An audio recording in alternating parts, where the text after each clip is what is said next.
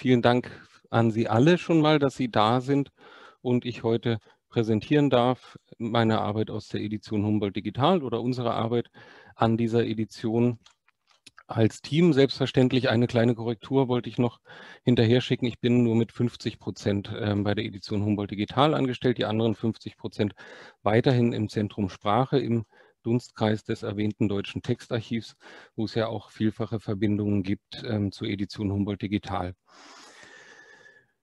Die Edition Humboldt Digital, Edition Humboldt Print als Hybrid-Edition möchte ich Ihnen heute vorstellen, habe mir aber vorgenommen, aus dem Ganzen etwas mehr als ähm, eine reine Projektvorstellung zu machen, auch weil ich immer denke, ähm, die meisten der Dinge ähm, kann man sich dann auch in den Publikationen erschließen oder durch einen Besuch der Seite selbst, selbstverständlich. Das heißt, ähm, es geht mir hier schon darum, ähm, einige Dinge zur Diskussion zu stellen und auf diese Diskussion freue ich mich auch besonders, weshalb ich mich sehr bemühen werde, auch den Zeitrahmen einzuhalten. Ganz kurz zum Titelzitat. Das stammt aus Humboldts Kosmos und bezieht sich selbstverständlich nicht auf das Netzzeitalter, wie Ottmar Etter hier auch schreibt, ist aber einfach eine sehr griffige Beschreibung sowohl der, dessen, was, was ähm, Etter auch herausgearbeitet hat, als ähm, die Humboldtsche Wissenschaft ähm, und passt natürlich auch ganz wunderbar auf unseren Diskussionszusammenhang heute. Eine allgemeine Verkettung äh, in netzartig verschlungenem Gewebe. Wer möchte da nicht an digitale Editionen denken? Und deshalb habe ich das für den ähm, Titel gewählt. Ähm, über die Humboldtsche Wissenschaft und ähm, viele andere Aspekte in Humboldts Schaffen können Sie nachlesen im Humboldt-Handbuch, das 2018 kurz vor dem ähm, Jubiläumsjahr 2019, dem 250. Geburtstag Alexander von Humboldts, erschienen ist. Und den Kosmos können Sie selbstverständlich im Deutschen Textarchiv nachlesen. Themen und Thesen habe ich diese Folie genannt, ähm, denn tatsächlich, wie angekündigt, ähm, geht es mir nicht ähm, ausschließlich um eine Projektvorstellung, sondern darum, ähm, Dinge, äh, Aspekte unserer Arbeit mit Ihnen zu diskutieren und Ihnen diese vorzustellen, weil ich einen Einblick in die ähm, editorische, in die Werkstatt der Edition, ähm, den ich heute bieten möchte, auch für notwendig halte, um mit diesen Daten gewinnbringend arbeiten zu können.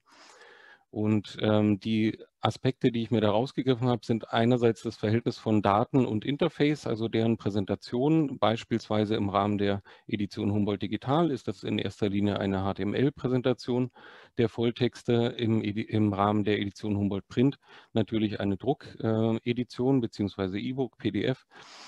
Ähm, dann den Aspekt äh, der TI-XML-Codierung beziehungsweise der Guidelines der ähm, Text Encoding Initiative, die wir zugrunde liegen. Wie ist da das Verhältnis zwischen dem ähm, wünschenswerten generischen und ähm, verallgemeinerbaren dieser Guidelines und den Spezifika, die wir zu codieren haben in den Humboldt-Manuskripten? Und schließlich ähm, was bedeutet ähm, die ähm, von uns verfolgte Codierung oder welche Anforderungen stellt diese an äh, Tools? Ähm, wie sieht es da mit der Entwicklung aus und ähm, was sind Analysegrundlagen für ähm, die Arbeit mit den Daten in den Digital Humanities?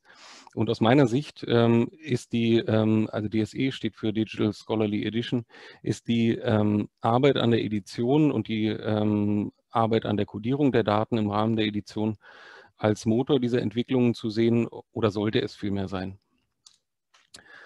Ähm, dieser Einblick in die Editionsarbeit ist meiner Meinung nach, ähm, wie gesagt, wichtig, dass Sie etwas über die Herstellung von ähm, den sogenannten Smart Data in und für die Digital Humanities ähm, kennenlernen und ähm, auch tiefer verstehen lernen, mit dem Begriff Smart Data verweise ich auf Christoph Schöch ähm, 2013, der da einen sehr aufschlussreichen Artikel geschrieben hat, den ich auch gleich noch vollständig ähm, referenzieren werde.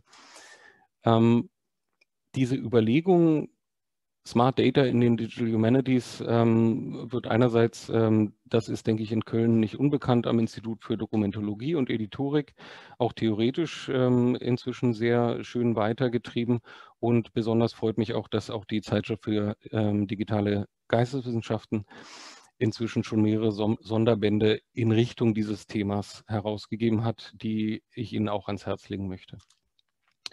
Vor allem aber gehe ich davon aus, dass eine Vertrautheit mit dem Korpus ähm, und dessen Annotation notwendig ist, um wirklich gewinnbringende Analysen in den DH durchführen zu können. Und mit gewinnbringend meine ich auch, ähm, und das ist, denke ich, sehr wichtig ähm, für die DH, auch anschlussfähig für ähm, die Fachwissenschaft, also als Diskussionsangebot und auch als ähm, ein Ergebnis, äh, eine Ergebnispräsentation und eine ähm, epistemische ähm, Funktion, die fachwissenschaftliche Fragestellungen voranbringen und in Frage stellen kann. Dafür ist es meiner Meinung nach notwendig, dass man das Korpus kennt. Ähm, diese These habe ich mir ähm, äh, nicht ganz allein ausgedacht. Ich habe sie äh, sehr aufschlussreich gelesen in einem Artikel von Thomas Weitin und Katharina Herget, die eben ähm, darauf hinweisen, dass äh, diejenigen Wissenschaftlerinnen und Wissenschaftler, denen es gelungen ist, äh, mit statistischen Verfahren äh, in der Korpusanalyse ähm, wirkliche sozusagen Erkenntnisse ähm, zu erzielen, die von ihnen verwendeten Corpora schon sehr gut kannten. Und ich glaube, das ist äh, tatsächlich eine wichtige Voraussetzung, dass man zumindest ähm, das Thema und den Kontext ähm, der Dokumente, die man analysiert und deren Annotation ähm, etwas tiefer kennenlernt, als es in manchen Analysen, die man so sieht, ähm, der Fall ist. Und das gilt meiner Meinung nach ähm, für die Rezeption durch Menschen, das ist scheinbar naheliegender, aber eben auch für die Analyse mithilfe von Maschinen. Ich habe ähm, auf dieser Folie meine wesentlichen Referenzen zusammengestellt. Die kommt auch am Ende nochmal und ähm, wie äh, schon angeboten, äh, müssen Sie das jetzt nicht alles abtippen. Ähm, aber es sind tatsächlich einfach die Empfehlungen und Sie sehen, das sind jetzt nicht die Empfehlungen, wo lesen Sie mehr über die Edition Humboldt Digital, sondern ähm, welche ähm, für mich sehr erhellenden ähm, Veröffentlichungen haben meine Thesen inspiriert. Und das ist zum einen eben dieser Band äh, Digital Scholarly Editions as Interfaces, den ich sehr anregend fand und die dazugehörige Konferenz davor natürlich auch. Die TI Guidelines, denke ich, sollten Sie in jedem Fall kennen und dazu ähm, den Artikel von James Cummings über einige Missverständnisse und Mythen äh, über die TI was Tool Preferences angeht, ähm, bin ich noch nicht fündig geworden. Das wäre ein Punkt für die Diskussion. Vielleicht können Sie mir da ein paar Tipps geben. Ähm, Smart Data, Christoph Schöch, der Artikel habe ich schon erwähnt. Und ähm, was die Vertrautheit mit dem Korpus als Voraussetzung in den, äh, für die Age-Analysen angeht, wie gesagt, der Artikel von Thomas Weitine und Katharina Herget zum ähm, Korpus des Novellenschatzes, aber durchaus übertragbar, äh, denke ich, generell auf unsere Arbeiten. Das Akademienvorhaben Alexander von Humboldt auf Reisen, Wissenschaft aus der Bewegung an der Berlin-Brandenburgischen Akademie der Wissenschaften ähm, läuft äh, ähm, mit einer geplanten Laufzeit von 18 Jahren und hat vor allem zum Ziel, die Reisetagebücher der großen hemisphärischen Reisen Alexander von Humboldts und der kleineren europäischen Reisen herauszugeben und dazugehörige Korrespondenzen und Dokumente aus dem Nachlass zum Teil erstmals für die Öffentlichkeit zu erschließen. Und das geschieht eben im Rahmen einer Hybrid-Edition. Die digitale Komponente ist die Edition Humboldt digital, ähm, erreichbar unter dieser URL edition-humboldt.de und die im äh, letzten Jahr eröffnete Reihe ähm, Edition Humboldt Print im Metzler Verlag.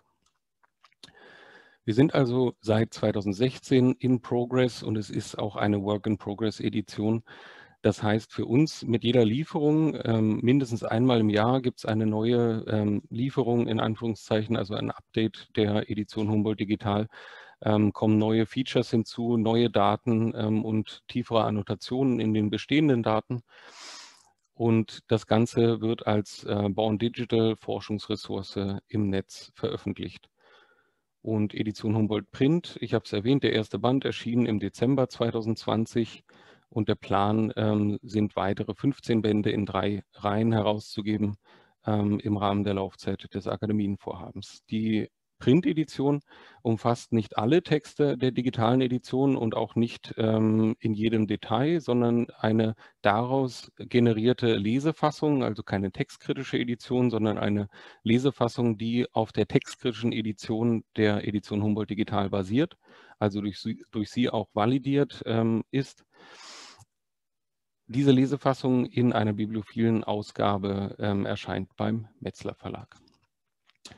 Über diese Hybrid-Edition können Sie sich informieren in einer Publikation von Tobias Kraft, dem Arbeitsstellenleiter, und Stefan Dumont, dem ähm, hauptsächlich, also in den vergangenen Jahren hauptsächlichen technischen Entwickler der Edition in, dem, äh, in der Wiener Revue. Und wenn Sie lieber etwas sehen wollen, können Sie sich einen Vortrag von Tobias Kraft und mir äh, anschauen, den wir im letzten Dezember an der SLUB Dresden gehalten haben. Einige Folien von heute habe ich auch aus diesem Vortrag entnommen. Ansonsten hat der Vortrag eher den Charakter einer Projektvorstellung. Wenn Sie das also nachholen wollen, dann gerne hier auf Vimeo. Sie finden das Ganze auch auf äh, unseren jeweiligen Mitarbeiterseiten und in der Mediathek der BBHW auch verlinkt. Zurück also zur Hybrid-Edition.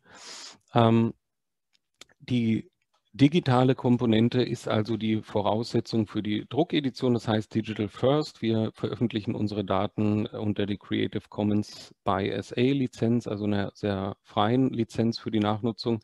Uh, Single Source Publishing bedeutet, dass ähm, sowohl die digitale Präsentation als auch die Print-Edition auf ähm, einer Quelle, nämlich den zugrunde liegenden TI-XML-Dateien beruht und die EHP, wie gesagt, eine kuratierte Lesefassung daraus bietet.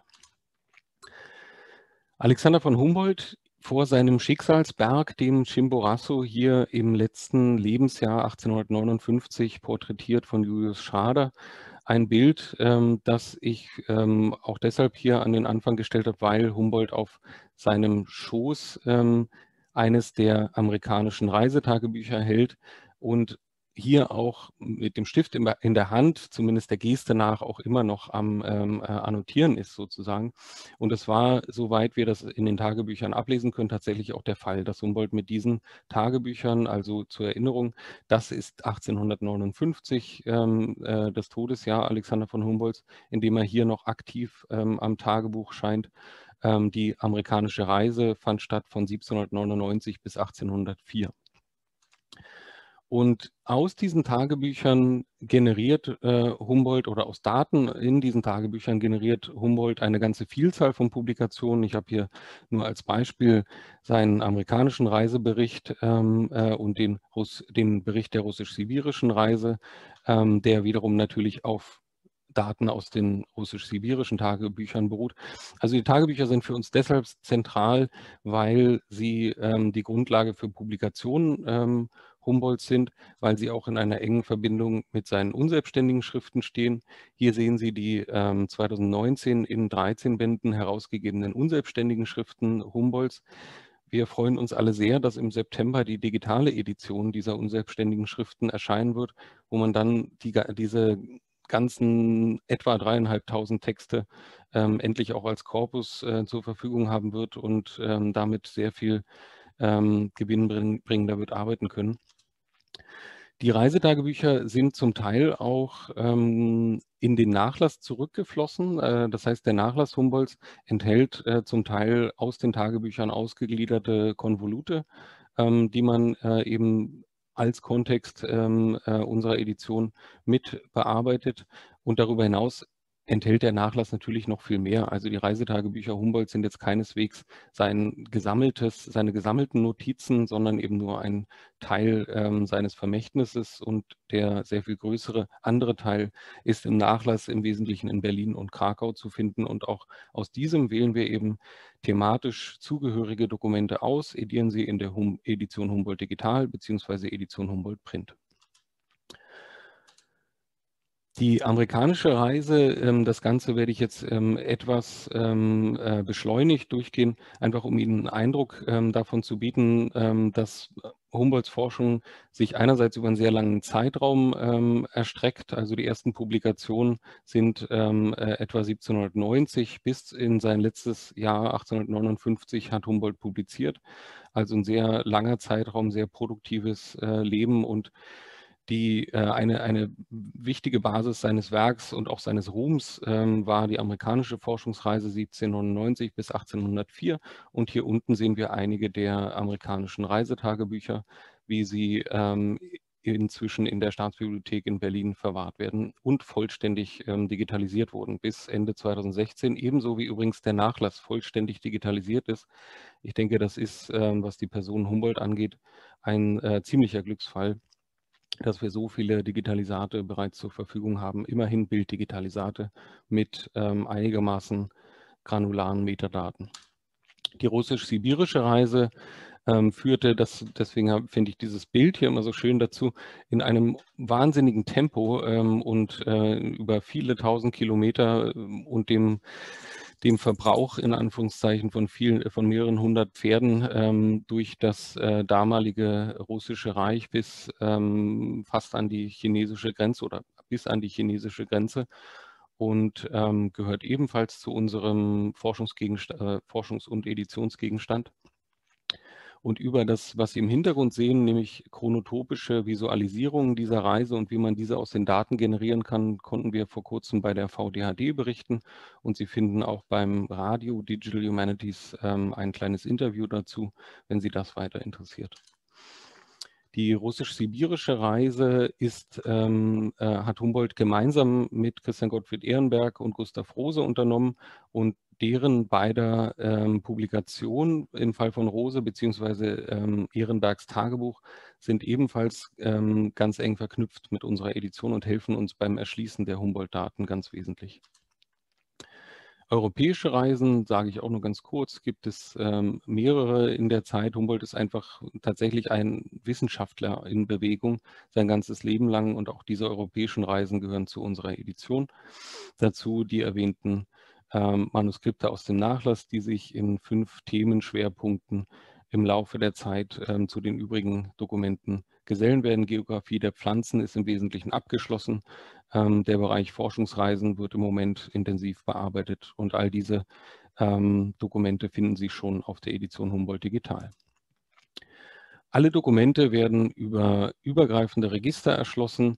Auch da werde ich jetzt aus Zeitgründen nicht ins Detail eingehen. Ähm, Sie können sich das alles online anschauen und werden sehen, dass wir uns bemühen, in jeder Hinsicht äh, Normdaten zu verwenden und die Verknüpfung der Dokumente untereinander und auch mit externen Ressourcen über diese Normdaten herzustellen.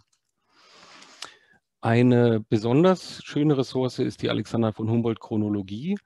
Ähm, sie ist auch, äh, illustriert auch ein bisschen, äh, wie wir mit Daten arbeiten ähm, in dem Vorhaben, ähm, die von Anfang an ähm, noch gar nicht so solche Daten waren. Also die Chronologie basiert auf einer gedruckten Edition von 1968, die wiederum auf Karteikarten hier in der ehemaligen Forschungsstelle ähm, beruht. Und diese wurde 2017 äh, als TI-XML-Ressource aufbereitet und ist seitdem eben Teil der Edition Humboldt Digital und wird dort auch weiter gepflegt.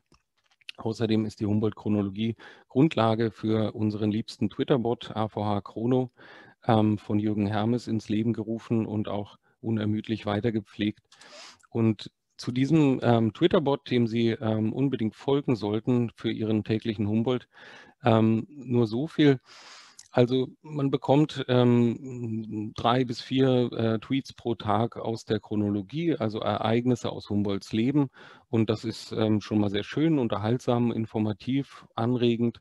Ähm, es ist für mich als Mitarbeiter der Edition auch immer wieder ähm, Anlass und Motivation, ähm, die Daten etwas zu verbessern. Zum Beispiel beim heutigen ähm, Tweet habe ich gesehen, also hier steht, äh, hier sieht man eben im im Tweet, ähm, was los ist. Ne? 1805, Humboldt ist in Italien und beabsichtigt für mehrere Tage in diese Stadt Civitavecchia, wenn ich das jetzt richtig ausspreche, zu fahren. Und ähm, ich sehe dann, wenn ich ähm, äh, den, äh, das Ereignis in der Edition Humboldt Digital aufrufe, dass diese Stadt noch gar nicht mit einem Registereintrag verknüpft ist, kann das unmittelbar nachholen und ähm, Sie werden also dann bei der nächsten Version der Edition Humboldt ähm, und, und, auch bei der nächsten Iteration der Humboldt-Tweets ähm, vom Chronobot ähm, diese Stadt dann eben verlinkt sehen mit dem Register und sehen dann außerdem, aha, die wird ja hier auch im Briefwechsel äh, mit Ehrenberg erwähnt und so weiter. Sie sehen also, die Daten ähm, werden besser und ähm, was mir so gut gefällt an dem Bot, ist einfach, dass so eine Aufgabe wie alle 3600 Chronologieeinträge durchsehen und ähm, fehlende Orte nachtaggen, ist etwas, was ich niemals angehen würde, weil ich weiß, ich werde im, im Rahmen meiner Zeit einfach nicht fertig damit. Aber das so portioniert zu bekommen und auch aus verschiedenen Jahren ähm, sozusagen Angebote, guck dir das doch mal an und das finde ich auch selber als äh, Mitarbeiter an dieser Ressource sehr ähm, schön und sehr interessant an diesem Bot. Also unbedingte Folgeempfehlung.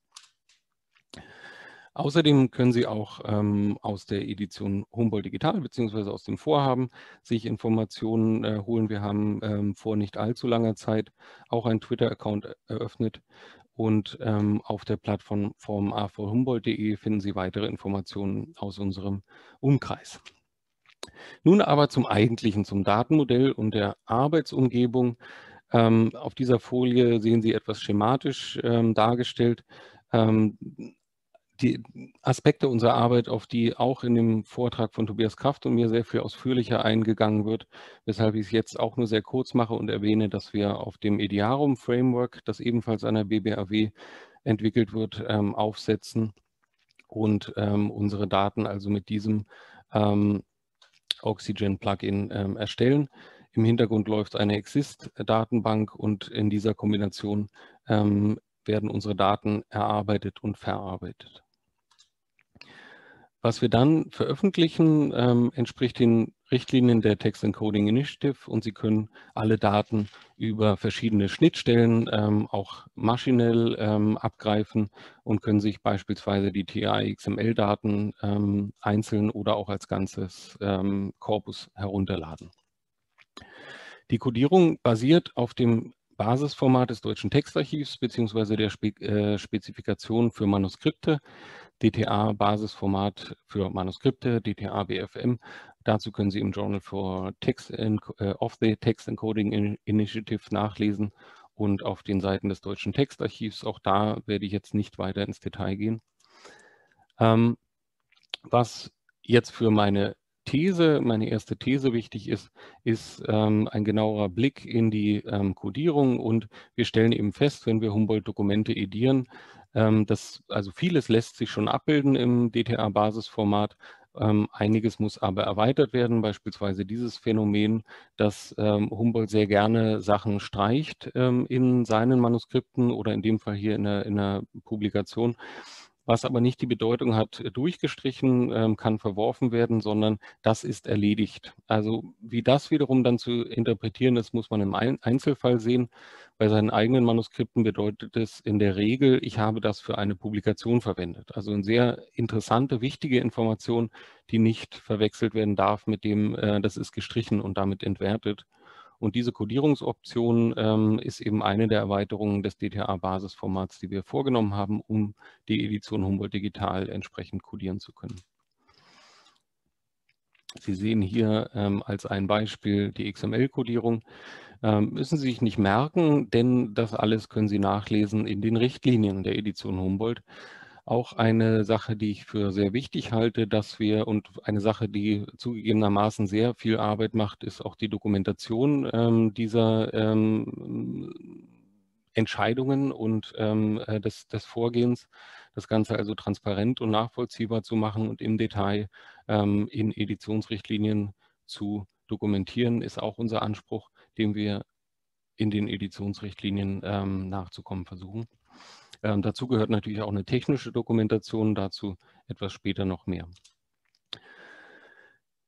Ich habe gesagt, die, das DTA-Basisformat selbst basiert ja schon auf den Guidelines der Text Encoding Initiative ähm, und zwar ohne diese zu erweitern, ist also vollständig TI-konform. Dasselbe gilt für die Codierung der EHD. Und ähm, genauso wie man manchmal das Basisformat erweitern muss, um ähm, Humboldt-Texte taggen zu können, muss man einfach manchmal die TI erweitern. Und das ist auch ein Aspekt, den ich ähm, heute zur Diskussion stellen möchte, dass es ähm, in Fällen, wo man an Codierungsgrenzen ähm, innerhalb der TI äh, stößt, so wie uns das hier passiert ist, es sich auch lohnt, mit der Community zu diskutieren und für eine Änderung ähm, dieser sehr generischen Guidelines äh, eben einzutreten. Ähm, das Beispiel hier ist ähm, die von Humboldt oft verwendete doppelte Markierung von äh, von Daten. Also er schreibt hier 3. November bzw. 13. Primär. Also notiert sich ähm, das Datum nach dem gregorianischen Kalender und dem französischen Revolutionskalender. Das sind natürlich nicht zwei Datierungen. Es ist jeweils derselbe Tag, nur in einem ähm, äh, unterschiedlichen Kalendersystem. Und genauso wollten wir es auch taggen, als ein Date äh, und nicht zwei Dates. Und äh, haben aber festgestellt, dass die TI ähm, das von uns bevorzugte Tagging, ähm, hier ist der Kalender gregorianisch und Revolutionskalender, also der französische Revolutionskalender gemeint, einfach als ähm, eine Anreihung von zwei Attributen nicht erlaubt, weil nur ein Attribut im Kalender, äh, Entschuldigung, ein Wert im Kalenderattribut erlaubt ist. Und deshalb haben wir zunächst pragmatisch gesagt, okay, dann erfinden wir einen neuen Kalenderwert, der ausdrückt, hier ist Gregorianisch und Revolutionskalender gemeint, haben aber zugleich ähm, über die TI-Liste die Diskussion angestoßen. Und Sie sehen hier, in dem Fall ging es erfreulich schnell ähm, mit der weiteren Diskussion und das Council äh, hat am Ende zugestimmt und äh, unseren Argumenten also äh, nicht sich gebeugt, das klingt jetzt irgendwie so diktatorisch, aber ähm, war eben einverstanden mit den Dokumenten und wird ähm, äh, also mehrere Kalenderwerte erlauben. Und insofern, ähm, ups, das überspringe ich mal. Das Fazit für mich hier ist einfach, dass äh, es wichtig ist, ähm, generische Community Guidelines zu haben. Die sind ein hohes Gut, denn sie sind das Einzige, was uns ähm, in, der, in, unserem gemeinsamen Universum, in dem wir Daten erstellen und nutzen wollen, überhaupt in Richtung Interoperabilität äh, von Daten bringen kann. Aber ähm, einerseits äh, muss deren Interpretation im Projekt äh, dokumentiert werden. Das heißt, man muss spezifizieren, wie man die TI-Guidelines anwendet, damit das eben auch für Dritte nachvollziehbar ist. Und bei Bedarf ähm, sollten diese Guidelines in der Community erweitert werden. Das gilt sowohl für Erweiterung des DTA-Basisformats, auch da gibt es eine Steuerungsgruppe, also ein Gremium, mit dem man dann über GitHub-Issues diskutieren kann, ob sich eine Erweiterung hier lohnt und ob die ähm, auch mitgetragen wird. Ähm, dasselbe gilt eben natürlich auch für das größere Unternehmen, nämlich die Text Encoding Initiative und deren Guidelines an sich. Man darf nicht vergessen, dass das eine Community ist, deren Teil wir sind und ähm, in die wir uns mit einbringen sollten. Ich habe erwähnt, dass Sie sich alle Dokumente herunterladen können. Im Moment in der Version 6, also der aktuellen Version der Edition Humboldt Digital, ähm, erhalten Sie also über diese Schnittstelle 512 ähm, TI-kodierte Dokumente, die Sie sich ähm, äh, herunterladen können. Und Dazu kommt, dass also Version 6 äh, lässt ja schon darauf schließen, dass es auch vorher Versionen gab. Und auch diese Vorgängerversionen können Sie über die ähm, EHD-Seite ansteuern und sich die Unterschiede anschauen. Immer da, wo ein ähm, Punkt statt eines ähm, gerade durchführenden Striches ist, hat sich etwas geändert ähm, in der Version des jeweiligen Dokumentes und Sie erhalten dann auch immer den Hinweis, ähm, wenn Sie eine frühere Version betrachten, dass Sie sich eben bei einer archivierten Version befinden und können die aktuelle Version ähm, sich herunterladen. Was ich noch anregen möchte, ähm, was mir jetzt in der Vorbereitung auf diesen Vortrag nochmal ähm, aufgefallen ist, ist, dass wir über diese Schnittstelle natürlich auch die TI-XML-Dateien der Vorgängerversion ähm, bereithalten sollten und nicht nur die jeweils aktuelle Version. Hier würde mich interessieren, ob das für Sie auch äh, interessant ist in der Arbeit. Aber ich denke, das ist etwas, was wir tun können und sollten. Sie sehen, wenn Sie in der Edition Humboldt Digital ein Dokument aufrufen, ähm, verschiedene Ansichten zur Auswahl. Sie können sich ähm, diesen Brief beispielsweise in einer kritischen Fassung ansehen, die Sie hier sehen, ähm, oder ein daraus generierter Lesetext. Nee, daraus generiert ist falsch. Also kritische Fassung oder Lesetext. Im Lesetext sehen Sie, ähm, diese ganzen Streichungen, Ergänzungen ähm, sind ähm, umgesetzt äh, worden. Also Streichungen ähm, erscheinen dann nicht mehr und Ergänzungen erscheinen äh, unterschiedslos als Teil des Textes. Der Zeilenumbruch ist aufgelöst und so weiter. Also diese Lesefassung unterscheidet sich doch ganz wesentlich von der kritischen Fassung. Und beide Fassungen, so ist es richtig, beide Fassungen basieren eben auf demselben ähm, TI-XML-Dokument. In der HTML-Fassung, die Sie, also egal ob jetzt kritischer Text oder Lesetext sich ansehen, ähm, wird ähm, äh, einiges aus der Annotation auch ausgewertet und ähm, für Sie eben ähm, sichtbar gemacht. Ähm, beispielsweise, dass es sich, äh, dass hier an diesem Textteil in Ihren beiden Schriften eine Sachanmerkung hängt, die wiederum auf einen Registereintrag, ähm, in dem Fall ein eine bibliografische Ressource verlinkt. Das wird für Sie erkennbar im HTML. Sie werden sehen, ähm, dass es einige unleserliche Stellen gibt. Das heißt, ähm, diese Streichung, was da vorher stand, kann man beim besten Willen oder können wir beim besten Willen nicht lesen. Deswegen ist das auch entsprechend markiert. Sie sehen, dass es interne Verlinkungen gibt, beispielsweise die Übersicht der Folia Pinata, für die sich Humboldt hier bedankt, ähm, wird eben direkt verlinkt auf das Dokument, das ebenfalls im Rahmen der Edition Humboldt Digital ediert wurde. Das Ganze wird entsprechend im XML eben mit einem Ref ähm, und Target-Attributwert äh, äh, markiert. Sie sehen, ähm, dass dieser Personenname äh, verlinkt ist mit dem Register, auch das ähm, Ihnen sicherlich äh, vertraut. Ähm, der Name Tag verweist auf eine projektinterne ID dieser Person. Übrigens werden diese projektinternen IDs in der Download-Version umgewandelt in, die, in das jeweilige Normdatum zu dieser Person aus dem, aus dem Register. Das heißt, dort steht dann nicht mehr unsere projektinterne ID, mit der Sie nichts anfangen könnten als Nachnutzende, sondern dort steht dann statt Name Key projektinterne ID steht dort Name, Ref und der Link auf die ähm, deutsche Nation, also die gemeinsame Normdatei der Deutschen Nationalbibliothek. Bei der unleserlichen Stelle ähm, ist es ähm, ganz ähnlich, dass es dann im ähm, TI XML ähm, kodiert wird.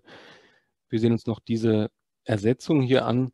Ähm, in der HTML-Ansicht sehe ich also, mein ist gestrichen, entgegengesetzte ist gestrichen, seine ist äh, entgegengesetzte ist hinzugefügt, Entschuldigung, und deshalb grün. Seine ist gestrichen und Meinung ist wiederum hinzugefügt und Sie sehen auch hier, das ist innerhalb der Zeile hinzugefügt.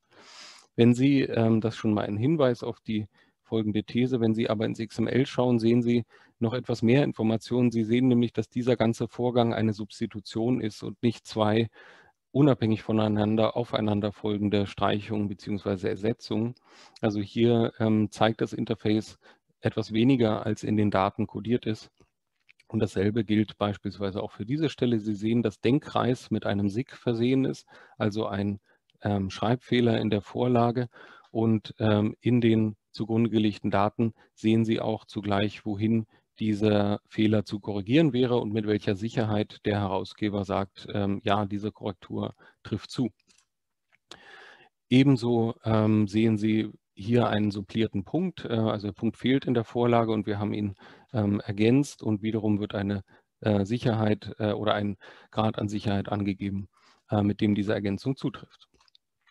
Und bei all diesen Dingen, und das ist jetzt, damit komme ich jetzt zu meiner These, ähm, gibt es also einen Unterschied zwischen Annotation und Interface, ähm, der meiner Meinung nach auch immer bestehen wird und bestehen sollte. Also man kann letztlich sagen, wir stellen ja die Grunddaten bereit und ähm, im Zweifelsfall und ähm, am besten gar nicht äh, erst dann. Im Zweifelsfall sollte man sich eben, äh, was die Metadaten angeht, den TI-Header anschauen, was die, was die Textannotation angeht, den TI-Textbereich ähm, anschauen, um eben tatsächlich ähm, die, das, äh, äh, die vollständige kodierte Information zu bekommen. Dafür genügt einfach der Zugang über das Interface nicht das Ganze oder dieser, dieser Ansatz, ähm, die, auch die Kritik daran, aber auch einiges ähm, äh, pro wird diskutiert in diesem sehr schönen Band, den ich Ihnen, wie gesagt, empfehlen möchte, Digital Scholarly Editions as Interfaces 2018 herausgegeben. Fazit ist also aus meiner Sicht, das Interface kann erweitert werden, ähm, aber das ist nicht sinnvoll, es unendlich zu tun. Also, dass wir ähm, auf Daten über ein Interface zugreifen, ähm, hat einfach auch damit ähm, äh, zu tun oder bringt es zwangsläufig mit sich, dass dort reduziert wird. Und diese Reduktion und Fokussierung ähm, ist einfach auch Aufgabe eines Interfaces. Also man sollte das auch nicht übertreiben und versuchen, bei einer digitalen Edition das Interface so weit aufzubohren, dass es wirklich jede Annotations, ähm, äh, jedes Annotationsdetail dann an zeigt. Ähm, die zugrunde liegenden Daten werden immer mehr Informationen enthalten, als das Interface darstellt.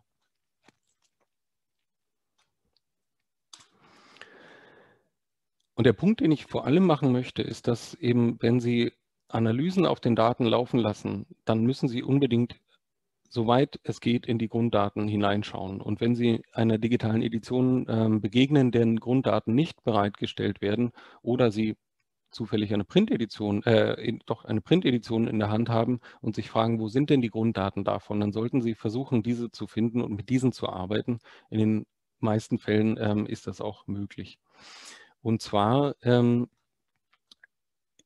ist das mir deshalb so wichtig, weil ich bei Analysen in den Digital Humanities eine Tendenz dazu sehe, eher auf Plaintext zu arbeiten. Das heißt, ähm, die Annotationen aus dem TI XML erstmal ähm, unbesehen ähm, zu entfernen, einfach weil die Tools damit besser klarkommen und mit einer ja, tiefen, geschachtelten XML-Annotation Schwierigkeiten haben. Der kleinste gemeinsame Nenner scheint also das zu sein, vielleicht höchstens noch RDF und JSON. Ähm, und diese ähm, Codierungsvereinfachungen werden einfach unseren Quellen nicht gerecht. Also deswegen sehe ich das so ein bisschen mit Sorge. Und natürlich ist es auch, ähm, also der, der hohe Aufwand, zwangsläufig hohe manuelle Aufwand, den wir in die Daten stecken, ähm, wird dabei einfach ähm, ignoriert. Insofern würde ich mich einfach freuen, dass bei der Toolentwicklung, das meinte ich mit Edition, sollte auch Motor dieser, ähm, äh, dieser Entwicklung sein, dass bei der Entwicklung von Tools eben doch ähm, äh, noch mehr auf die ähm, Analysierbarkeit des Markup, Auswertbarkeit des Markup auch ähm, Wert gelegt wird und bei den Analysen sowieso. Das war's ähm, von meiner Seite und was meine ähm, Thesen angeht, ähm, nachlesen können Sie alles auf, der, auf den Seiten der Edition Humboldt digital, wie gesagt, und jetzt bin ich tatsächlich gespannt auf die Diskussion. Ich werde jetzt als letztes ähm, äh, nochmal die Literatur- und Online-Ressourcenfolie einblenden, damit Sie diese ähm, erstmal vor Augen haben und sich anhand dessen vielleicht erinnern können, was meine Thesen eigentlich waren. Vielen Dank erstmal für Ihre Aufmerksamkeit und jetzt bin ich gespannt auf die Diskussion.